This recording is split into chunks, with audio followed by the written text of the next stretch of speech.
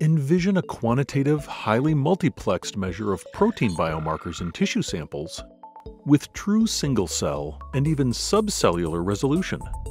With ChipCytometry by Canopy Biosciences, you can quantify the expression level of each protein biomarker in your assays for every individual cell in your sample and maintain the critically important spatial and morphological information. With ChipCytometry, tissue sections or cell suspensions are loaded onto the proprietary sample chips for analysis, and reagents are delivered to the sample through microfluidics.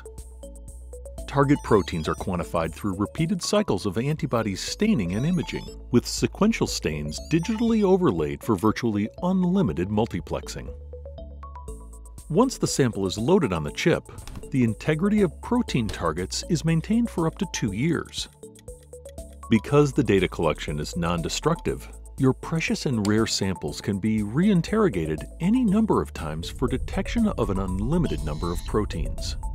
With ChipCytometry, you can achieve high-plex immunophenotyping with an unmatched level of detail. To learn more about ChipCytometry, contact us at info at canopybiosciences.com.